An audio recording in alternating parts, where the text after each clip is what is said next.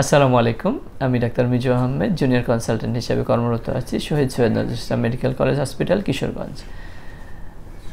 আমরা এখন আলোচনা করব মানুষের জিদ বা জেদ বেশি হওয়ার পিছনে জিনের প্রভাব আছে কি না আমরা জানি যে মানুষের শারীরিক আকার, আকৃতি যেমন নির্ভর করে জিনের উপরে, ঠিক তেমনি মানুষের আচার, আচরণ, কথাবার্তা, চাল, চরণ, স্বভাব, বৈশিষ্ট্য সব কিছুই নির্ভর করে জিনের উপরে।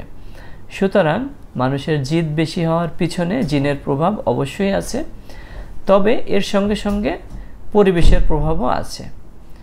জিনের প্রভাব বলতে যে সে তার বাবা মার কাছ থেকে জিনের যে অংশটা পেয়েছে, সেখানে কম্বিনেশন হওয়ার পরে সে যে বৈশিষ্ট্যটা পেয়েছে, সেখানে অবশ্যই তার রাগ বা জেদ তার ফ্যামিলি থেকেই সে পেয়েছে। এবং সেটা বাড়বে কি কমবে সেটা নির্ভর করবে তার পরিবেশ এবং তার আশেপাশের মানুষগুলোর আচার আচরণ ব্যবহার সব কিছুর উপরে নির্ভর করবে।